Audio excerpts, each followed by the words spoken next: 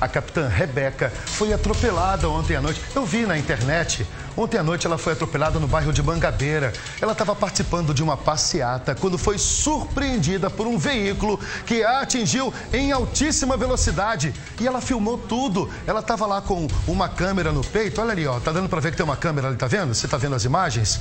Pois é, o motorista fugiu sem prestar nenhuma assistência. Tenente Rebeca, a, a, a capitã Rebeca teve alguns ferimentos, foi pro hospital, mas tá tudo certo com ela, ela passa bem. Mas o susto, né, gente? O atropelamento, hein? E o rapaz que passou por ela e ficou por isso mesmo, hein?